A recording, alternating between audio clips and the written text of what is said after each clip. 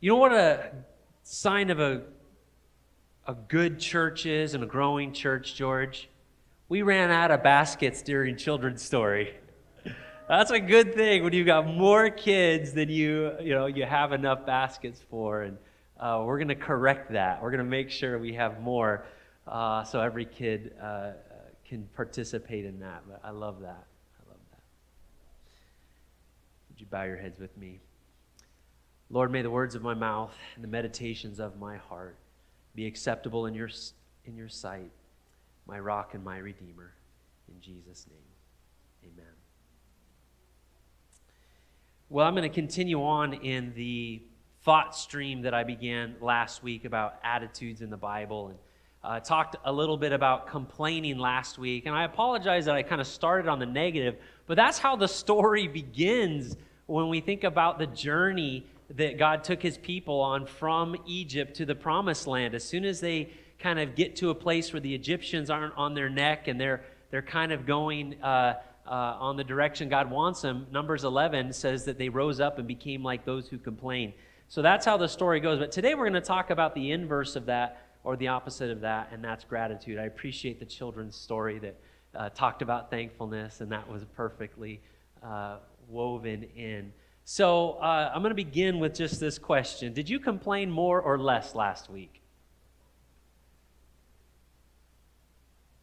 Did you, did you notice a difference at all? We talked about complaining last week. We talked about the, uh, the seriousness of complaining, uh, that it is a, a terrible and deadly vice, even. And yet it's become so natural and normal to our character and to our society, we don't even really realize we're doing it. In some cases, we're actually encouraged to do it. Um, but we know that it is a, a terrible thing. And, uh, you know, since we talk about it, you know, whenever you start talking about something in your life, it feels like the devil attacks you more in that area. Maybe you felt the, the need to complain even more this week uh, because we, we focused on that. Did you reduce your consumption of social media and politics? And again, I just use that as a practical example because I'm not saying those things are completely an evil, but they tend to feed the spirit of complaining. Do any of you ever read like the comments in the blogs and stuff? How many of those are filled with praise and thankfulness and joy, right? It's just this. Uh, smorgasbord of just uh, complaining. It, that's, that's what it seems like to me. And then the third question Did you find anything to replace complaining with? Like any vice, you can't, it's hard just to, to, to quit cold turkey. If you've ever tried to give up smoking or maybe biting your nails or even gossiping, it, you know, you sometimes you tell yourself, I'm just going to stop, just going to, uh, stop. But we know from a clinical uh, standpoint, you often have to replace that behavior with something. Uh, smokers will sometimes chew gum or they'll, they'll find something else because they're so used to having something in their mouth and in their hand that you, you, you find a replacement for it. Well, it's the same true with the negative attitudes that we sometimes have. It, it's good if we can just stop doing it altogether, but we need to understand that there's an opposite to every vice. Or to every virtue, there's a vice. For every good thing of God, there's a counterfeit of the devil. And thankfulness and gratitude is the replacement for complaining. If we have a spirit of thankfulness and gratitude, uh, I mean, when you think about what complaining is, it is a, it is a rejection of, of, of thankfulness. And I actually have more slides than just here. So it's frozen up or it's done something. Thank you.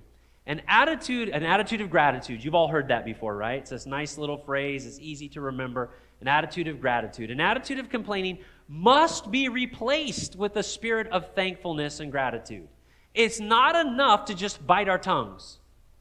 It's not enough just to keep silent and say, "Oh, I want to complain, but I'm not going to complain." But you dwell in that. It, it, then it'll breed bitterness. It'll breed discontent and other things. We want to actually replace that discontented, grumbling, complaining attitude with something that is filling and going to bless us. And I think that attribute and that attitude that the Bible gives us is gratitude. So that's what I want to talk with you about today. Now, I'm going to, went too far. That might have been me. Or, okay. This is from Ministry of Healing. If you've not read Ministry of Healing, recently, you will not be disappointed if you picked it up and read it again. It's probably one of my favorite of the Spirit of Prophecy volumes. Now, listen to this. Nothing tends to promote tends more to promote health of body and of soul than does a spirit of gratitude and praise. Nothing tends to more to tends more to promote a health of body and soul than does a spirit of gratitude and praise. I'm going to read it one more time. Nothing, Mrs. White says, tends more to promote health of body, uh, health of body and of soul than does a spirit of gratitude and praise. That's a pretty substantial statement, wouldn't you say? It is a positive duty to resist melancholy, discontented thoughts and feelings as much as a duty as it is to pray. That is pretty significant, isn't it?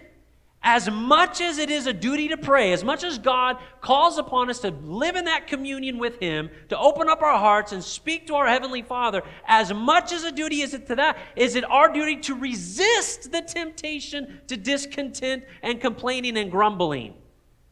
That is an amazing thing. Our journey towards the promised land, okay? The first step that we take as believers, as after we've received salvation, God, and again, we're using the, uh, the, the, the, journey, right, from, from uh, uh, the wilderness wanderings, right, as our model the after salvation, after we've received the sanctuary and the community and the temple and all these blessings of God, the first step that we have to take on that journey of positive Christian experience and getting ready for the promised land is to develop a spirit of thankfulness. We must replace that slavery bound attitude of complaining with an attitude of thankfulness. It sounds easy, it sounds uh, like a no brainer but it is more intense than that. So, Toby, are you going to help me again? I just have a few questions for our kids this morning. I haven't even asked them yet, Sebastian, Eric. Are blue and yellow going to be okay? Check, check, check, check. Yellow? Oh. Okay, and could I have one more? Oh, thank you, Derek, Mr. Heisey.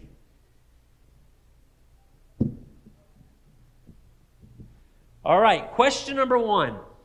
Toby, would you come on this side? Now, again, this is just for the kids. Raise your hand. I like to interact with you. The mics help everybody here and helps it for the recording. When should we be thankful? Of all these options, which one really should you be thankful for? Is it after a good meal? Yeah. After sleeping well? After opening a present? Or is it when church gets over? Man, what's the one? Hey, don't get too excited about this one.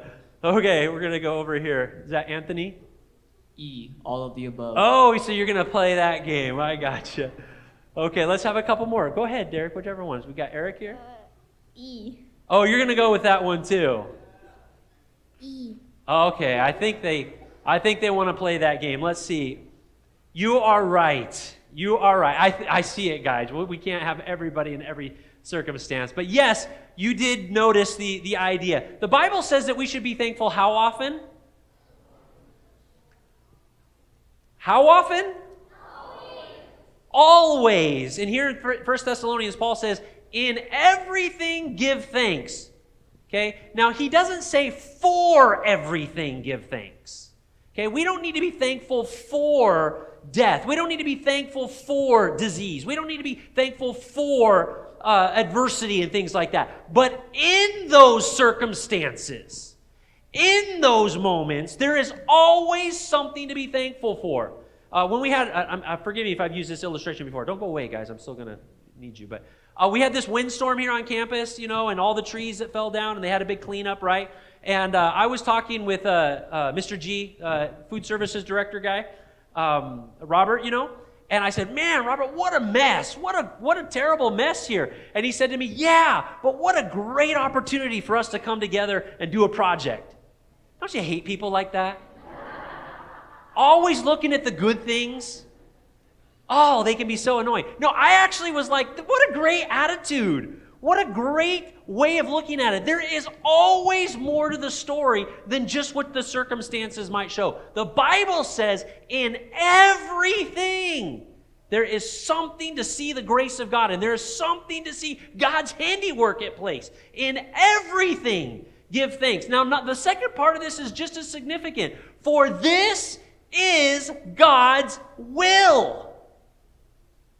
This is what He wants for you. This is His gift for you. This is what distinguishes you as a child of God. This is what makes you different from someone who is still in slavery to sin. For this is God's will for you in Christ Jesus. We should find ways to always see God's hand at work. Which book of the Bible mentions gratitude and thankfulness the most? Let's see some hands now. There's some in the booth back there, Toby. Is it Genesis, Psalms, Proverbs, or Isaiah? All right, Abel. Isaiah, I think. Oh, Isaiah, where are you? He thinks it's you, buddy, and I'm awfully thankful for you, but that wasn't the right one. All right, Dylan. Psalms. Wow, what do you guys think? You think Psalms might be it? Right, Sean, let's have give you chat. Psalms. Okay, now we're going to stop there because Psalms is actually that book of praise. It makes sense, and that's the right answer. Over 50 times. And depending on how many words that you can apply gratitude, thankfulness, praise it would be many, many more. But just that word of thanksgiving and gratitude over 50 times in the Psalms. And this is just an example from Psalm 136. Give thanks to the Lord, for he is good. His loving kindness is everlasting. Give thanks to the God of gods, for his loving kindness is everlasting. Give thanks to the Lord of hosts, for his loving kindness is how long? Yeah, over and over again, the Psalms remind us about the importance of thankfulness. Three, were the children of Israel thankful as they traveled to the promised land? Let's see some hands. All right, Owen's ready to go. No. He says no. I'll give one other chance over here. Who do we got? Matthew. Oh, that's profound. That's um, that's wonderful. All right, Julian. They were not happy at all. They were not happy at all. Okay, they got it, guys. We got we've got another one coming up. So we know the story. I already kind of talked about it earlier. We looked at it last week. They were not people that were happy. Now this is the last question. Did they have something to be thankful for, or what did they have to be thankful for? Let's come right here. That they at least got out. Did they what? That they at least got out. They at least got out. Yeah, they're no longer in slavery. You'd think that would be something, yay! We, you know, they'd be thankful for that. All right, I see Abel and, uh, and Dylan. That God was still with them. God was still with them, Dylan. That they get to eat good food. That like they don't have to eat grain all I've day. never had manna, but I suppose it was probably wonderful. Eric? At least they had food. At least they had food. Okay, a couple of, uh, I can see Isaiah and Andre. Uh, being nice to people. Okay, yeah. Toby over here, Julian's got one for us. What did they have to be thankful for? Moses leading them. Moses leading them. I like that. They're thankful for their pastor. Yes, sirree. Love it. That God loved them. That God loved them. That's absolutely right. Okay, thank you. Uh, appreciate the kids. Appreciate our microphone operator technicians. Thank you. So you can just set it on the front pew there. Now, for again, like I said earlier, for every circumstance, there is always two ways of looking at it. They could have said, ah, we're in the desert. Oh, it's so hot in the desert. Why do we have to be in the desert? Yeah, but at least you're not in slavery. Oh, I wish we could eat that great Egyptian food. Or so tired of this manna. Oh, that. Yeah, but that was because you were a slave. Now at least you're headed toward the land of milk and honey. Oh, the wildlife out here is so rough. All these snakes and all this wildlife. Yeah, but God is leading you. And if you weren't sinning so much, He would be taking care of you. Right? They, there's always two ways to be looking at the story. And so that is the challenge for us as believers that God gave them freedom, food, wealth, hope, guidance, power. they could say, Oh, but all the nations around us are so powerful. They're like giants. Yeah, but you've got the presence of the Lord leading you as a pillar of fire by night and a tornado during the day. How could you fear the people around you? But they're like giants. Okay? God doesn't force himself on us and say, You've just got to see it my way. He invites us to look at it through the eyes of faith, and he gives us lots of evidence. Nevertheless, this is what we read last week, just to remind us. With most of them, God was not well pleased. They were laid low in the wilderness. Now, these things happen as examples for the Scottsdale Thunderbird Church. These things happen as examples for us. They are there for us to read and learn, not just a fairy tale, fairy tale story that read about in the Old Testament and say, well, wasn't that interesting? No, these things happen for us so that we would not crave evil things as they also craved. Okay, they were craving evil things. Notice the language there. It's not just that they made a mistake, it's not just that they had a bad day, they had a spirit of craving evil. Nearly everything in our culture today is calculated to make it difficult to be thankful and easy to be unhappy and ungrateful. I, I don't force that upon you, but I think that there's a lot of truth to that. One of the things, and I, I, I, forgive me if I've mentioned this before, but it seems to be a, a more recent phenomenon I've, I've noticed in our society, in our culture, and in advertisements lately, is virtually everything someone's trying to sell you. It seems like today, they're always telling you, you deserve it. Have you noticed that? Okay? When you're listening to the radio or you're watching TV and it, oh, it's a car commercial. This is the pickup you deserve right? You're watching a commercial. This is the burrito you deserve. This is the car insurance you deserve. Everyone's trying to tell you what you deserve. And, and again, we do deserve things in life. I'm not trying to say that if you, you know, don't, uh, you know, do your job, you deserve the paycheck at the end of the week. But when you constantly hear this message of you deserve, you deserve, it kind of creates a pride. It kind of creates this idea that just by breathing air on planet Earth, I deserve to have everything I want. I don't have to earn it. I don't have to think about it. I just deserve the goodness that I think that I, I should have. And that is not a good position for us to be in. It creates an environment for complaining. Why don't I have it? I was told I deserve it, but I don't have it. And it battles against the spirit of thankfulness that God wants us to have. But God wants to give you the power to overcome this complaining attitude and to be thankful. And it does, friends, it does take the power of the Holy Spirit. It is an absolute necessity. If you try to overcome the sinful nature, if you try to just weave your way through this life saying, Well, God, it's great that you're in my life, but I'm going to keep you over here, you will find it being very difficult to overcome these vices and this tendency to start the journey of complaint and delay that opportunity to develop habits of being thanks of being thankful and having gratitude. It requires his power. Now notice this. I thank christ jesus our lord who has strengthened me. Now amen. He gives us strength right? Let me try that again he gives us strength right oh that's a little better we can still do some work there. But I thank Christ Jesus our Lord, who has strengthened me because he considered me faithful by putting me into service. The Lord Jesus doesn't come into our life just to uh, uh, say everything the, the way it's going in your life is fine. He comes to change us. He comes to help us be overcomers and to give us power. And that includes slaying the beast of grumbling and complaining that lives inside of us and then replacing it with the spirit of gratitude and thankfulness. Now, there's a story in the Bible that we're going to look at today to illustrate this. If you have your Bibles, it's in Luke. It's not going to be on the screen. I want you to see it in your Bibles. You may be familiar with it. I think it is a great story illustrating the principles of gratitude. Luke chapter 17 and beginning in verse 11, the healing of the 10 lepers. Luke chapter 17 and beginning in verse 11. I'm going to give a little background to the story here. It says this in verse 11 While he was on his way to Jerusalem, he was passing between Samaria and Galilee. Now, he had recently resurrected Lazarus. When you compare Luke and John, you can see that these stories are happening fairly close together. The Jews are trying to kill him. He flees Jerusalem, okay, and he's doing a missionary circus, circuit, excuse me, circuit up in the northern regions where he grew up. He's passed between Galilee and he's now on the borders between Samaria and Galilee. The other thing that's important to note is this is probably late March. He's a few weeks from his crucifixion. And Luke chapter 9 tells us that he had set his sights towards going to Jerusalem because he knew the days of his, of his ascension were drawing near. He's a few weeks from the cross. I think that's just interesting to recognize uh, the context here. Even a few weeks from the cross, Jesus is still not thinking of himself, he's thinking of others.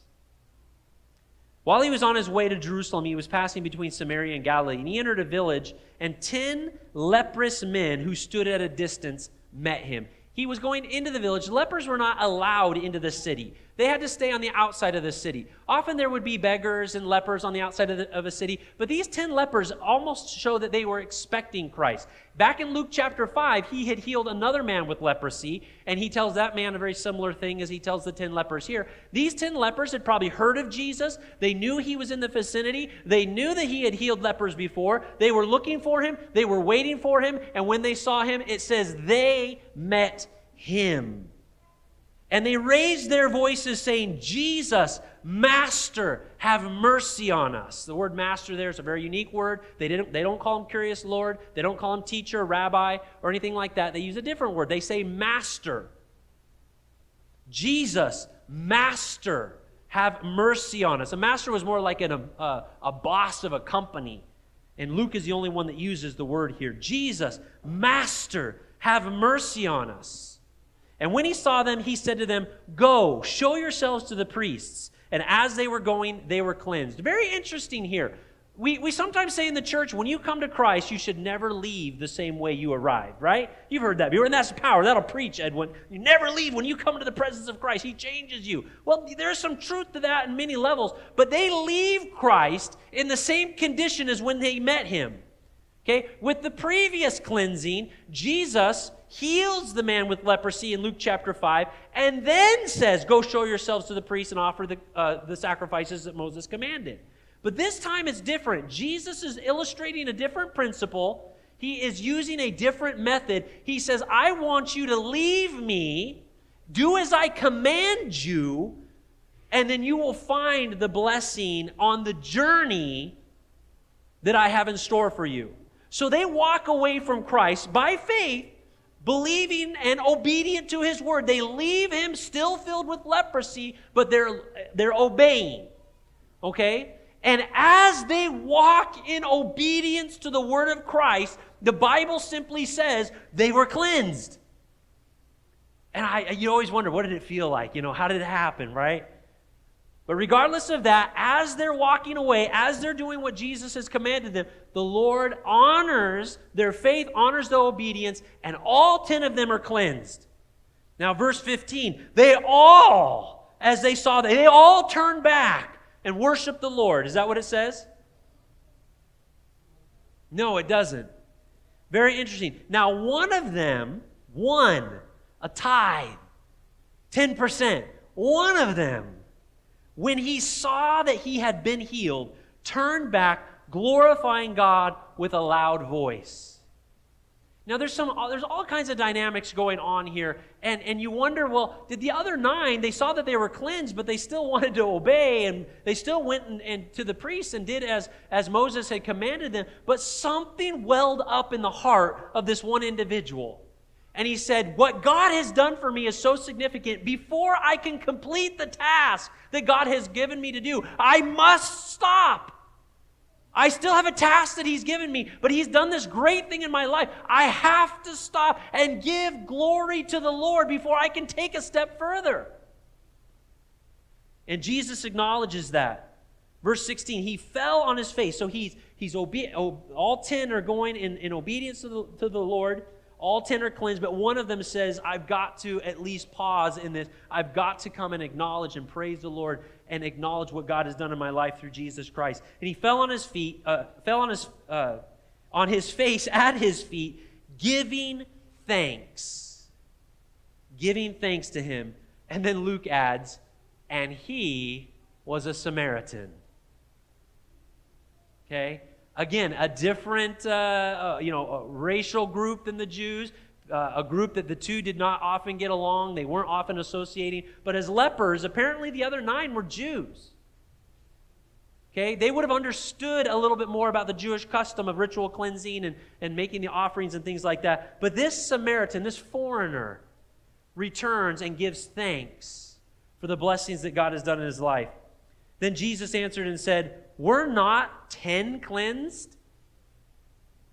You always have to pause. Whenever the Lord asks a question, it's not because he doesn't know the answer, right? He's making emphasis, he's making a point.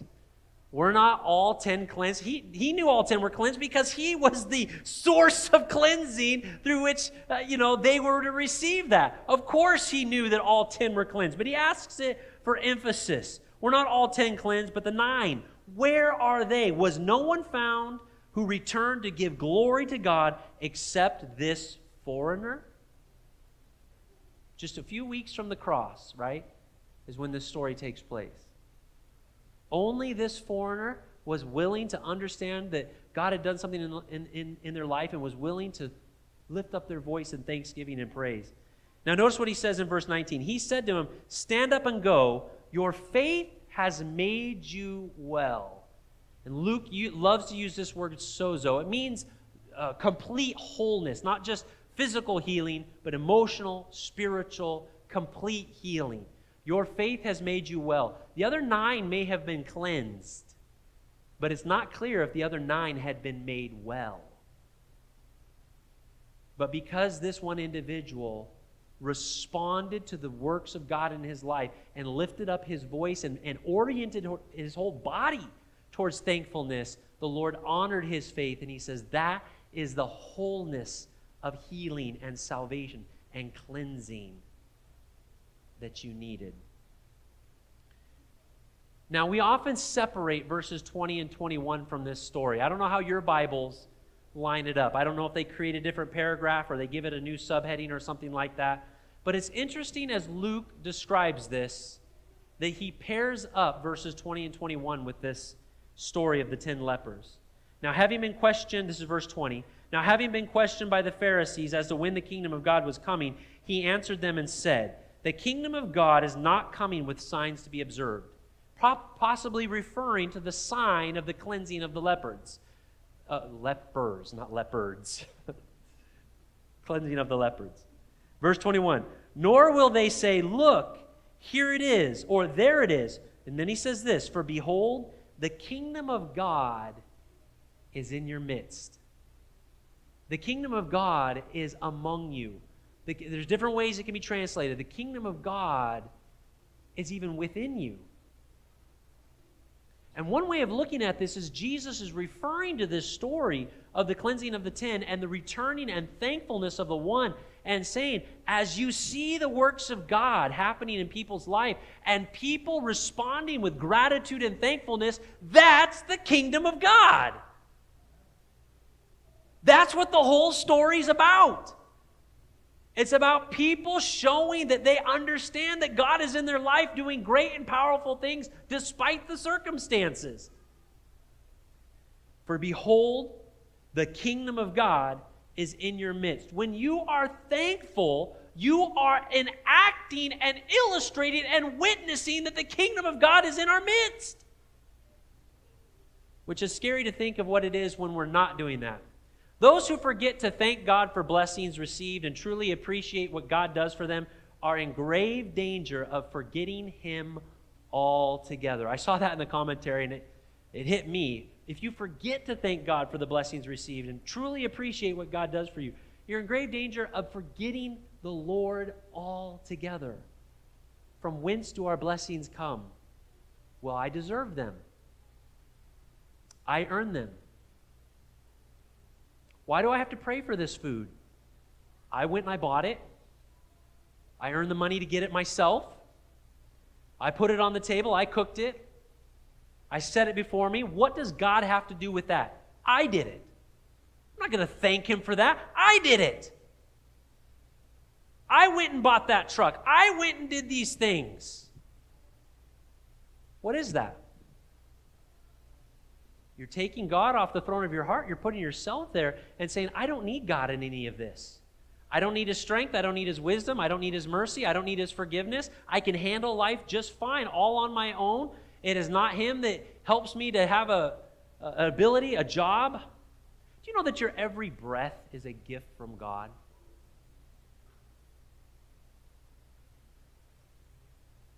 Every time you breathe, every heartbeat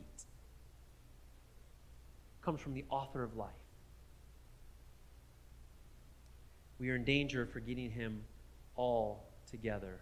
When we're unthankful, we testify to the weakness and irrelevance of God. But when we are thankful, we testify to the greatness and power of God.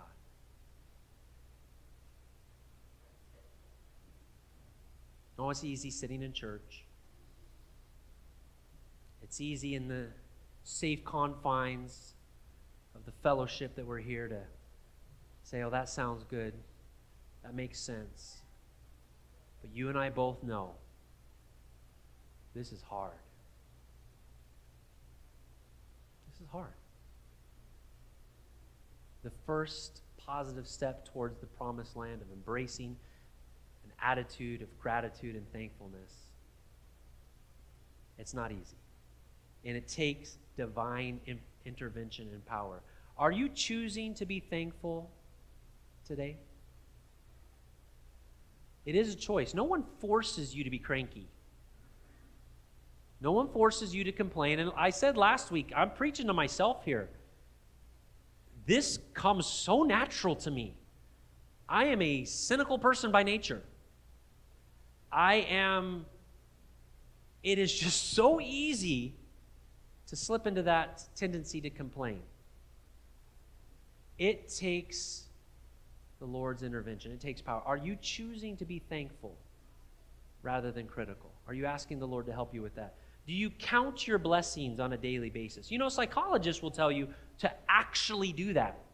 It's not just a metaphor, but count them on your fingers. How many things? Just like the kids did for children's story, right? They were just voicing on thankful for my pet and my parents and family and food and all these things. What were they doing? They were counting their blessings. Any of you ever struggled with depression? I mean, seriously struggled with depression?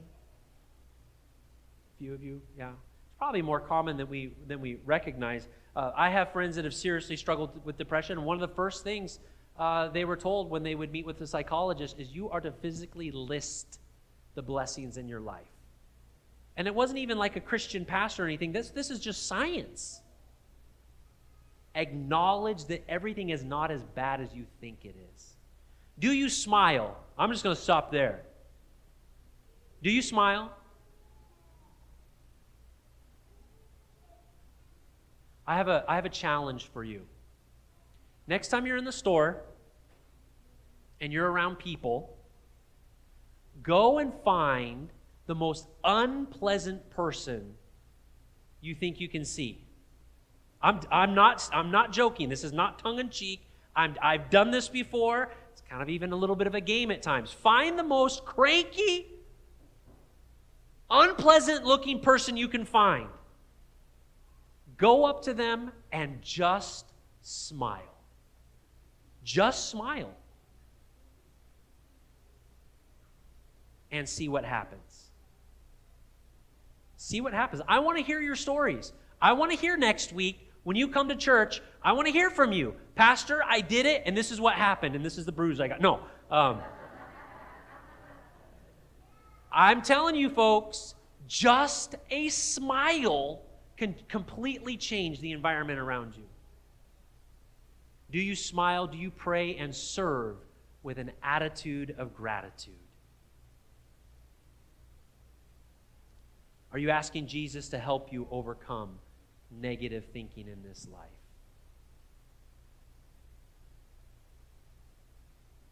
The Christian journey without thankfulness is not very pleasant. We should be filled with the joy of the Lord. Amen?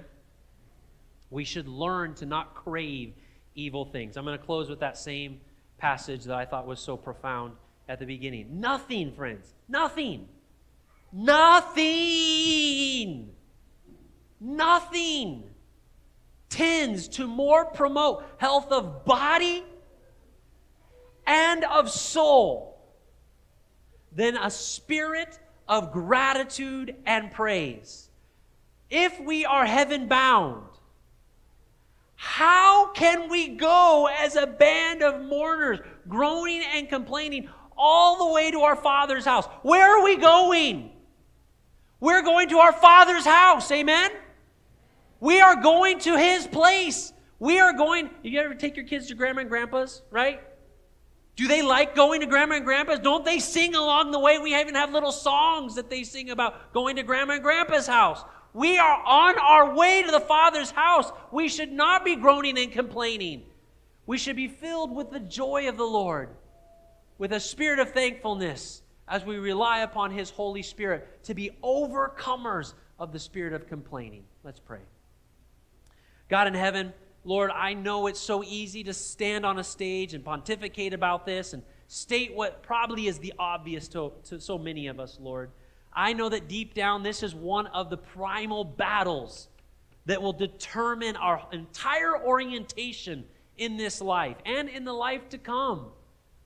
One of the first struggles we have, even though we have been cleansed, even though we have been saved, even though we are on the path to the promised land, or we are on the path of obedience, as were the ten lepers, to recognize that you are with us and that you are healing us and you are making us whole on the journey and lifting up our voices and recognizing that you are the God who heals and saves. Lord, circumstances can be so tough. There are real struggles, there are real challenges that try our faith. But Lord, send us the Holy Spirit that we could see through your eyes, that we could put aside that damaging and deadly spirit of complaining, and we could rather be filled with your Holy Spirit and be filled with praise and gratitude and thanksgiving. May your people be thankful. We pray in Jesus' name. Amen. Lord bless you. Looking forward to potluck. And if you're going to stay for our afternoon activities, we'll see you then as well. Happy Sabbath.